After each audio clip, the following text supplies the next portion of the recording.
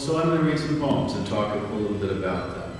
Uh, and I want to start with a poem that I have. Uh, it's the first poem in one of my books, and often uh, in the I brought only seven books, so there's lots of poetry to read. Uh, but I often have a poem that you know, precedes the other poems in my books, which is a kind of direct poem welcoming the reader. Um, in this case, um, I don't, I'm not big on, on epigraphs, but this poem does have an epigraph from Yeats. And um, Yeats had a very exalted idea of the poet. He said at one point that the poet is never the bundle of accident and incoherence that sits down at, to breakfast. and the epigraph that I chose for the poem, he says something similar. He says, a poet uh, never speaks directly as to someone at the breakfast table. So Yeats had a very low opinion of the institution of breakfast itself. it's the most important meal of the day. So the um, so I take issue with him in this poem, and it's called A Portrait of the Reader with a Bowl of Cereal. Every morning I sit across from you at the same small table, the sun all over the breakfast things, curve of a blue and white pitcher, a dish of berries, me in a sweatshirt or robe, you invisible. Hmm. Most days we are suspended over a deep pool of silence. I stare straight through you, or look out the window at the garden, the powerful sky, the cloud passing behind a tree. There is no need to pass the toast, the pot of jam, or pour you a cup of tea, and I can hide behind the paper, rotate in its drum of calamitous news.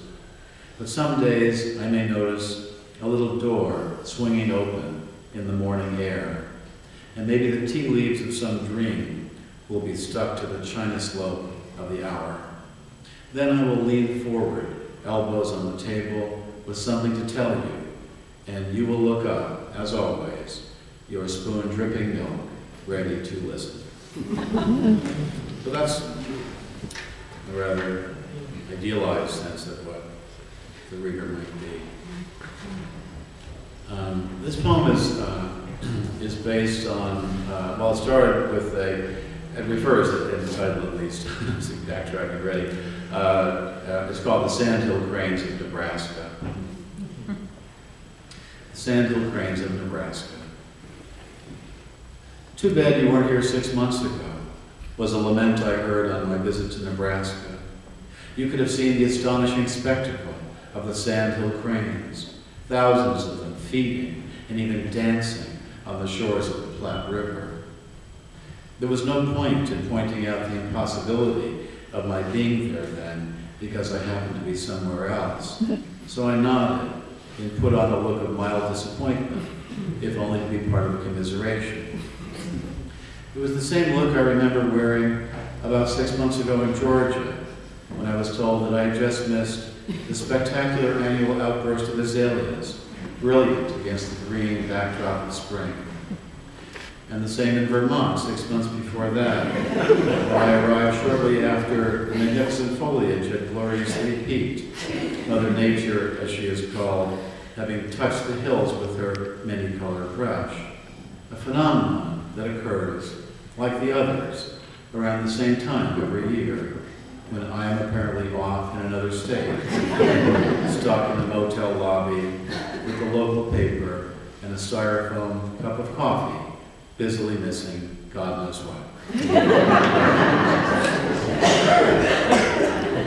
I, uh, one of the reasons I wrote that poem, besides that actually happening, was that it was spurred by a, uh, a, a, dictionary that was put out a few years back, um, in which, uh, which was uh, composed of uh, words that writers had made up. Um, and uh, the best word in the dictionary, I thought, was made up by a, a fellow poet, Howard Nemerov, who was also a consultant in poetry and a wonderful poet. Um, and he came up with the word, uh, the verb to azaleate.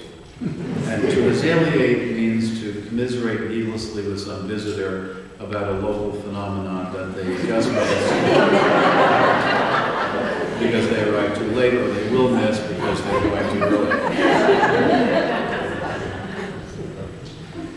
Do you know the lovely two-line poem, my favorite two-line poem by Howard Nemerov, called Bacon and Eggs? The chicken contributes, but the pig gives his all.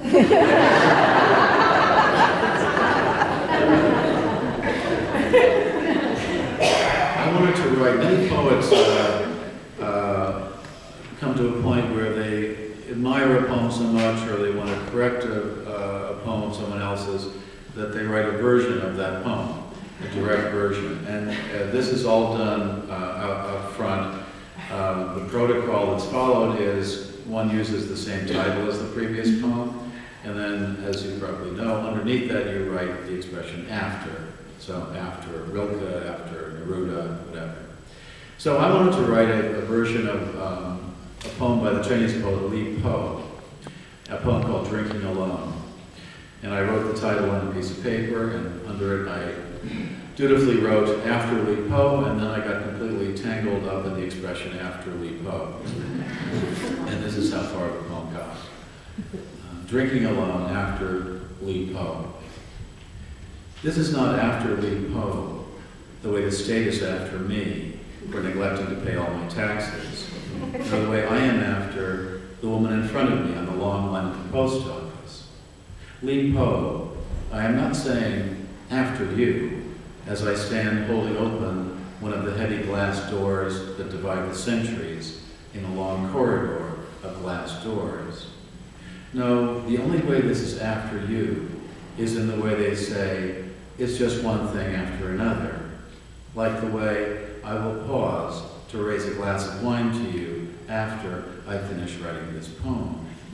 So let me get back to sitting in the wind alone among the pines with a pencil in my hand. After all, you had your turn, and mine will soon be done. Then someone else will sit here after me.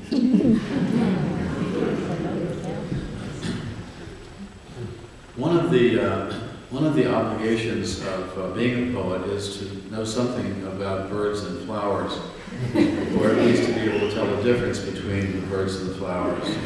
Um, and I've recently been spending quite a bit of time in Florida, where there's a whole set of birds and flowers to get to know.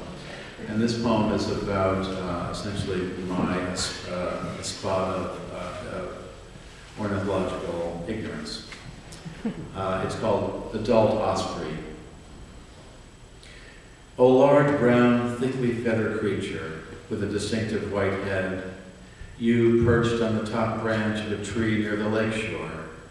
As soon as I guide this boat back to the dock and walk up the grassy path to the house, before I unzip my windbreaker and lift the binoculars from around my neck, before I wash the gasoline from my hands before I tell anyone I'm back, and before I hang the ignition key on its nail or pour myself a drink. I'm thinking of vodka soda with lemon. I will look you up in my illustrated guide to North American birds, and I promise I will learn what you are called.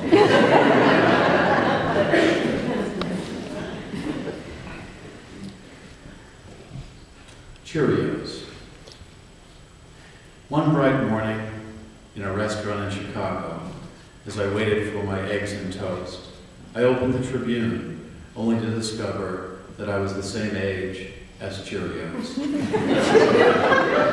Indeed, I was a few much older than Cheerios, for today, the newspaper announced, was the 70th birthday of Cheerios, whereas mine had occurred earlier in the year. Already I could hear them whispering behind my stooped and threadbare back. Why, that dude's older than Cheerio. the way they used to say, why, that's as old as the hills. Only the hills are much older than Cheerios, or any American breakfast cereal, and more noble and enduring are the hills, I surmised, as a bar of sunlight illuminated my orange juice.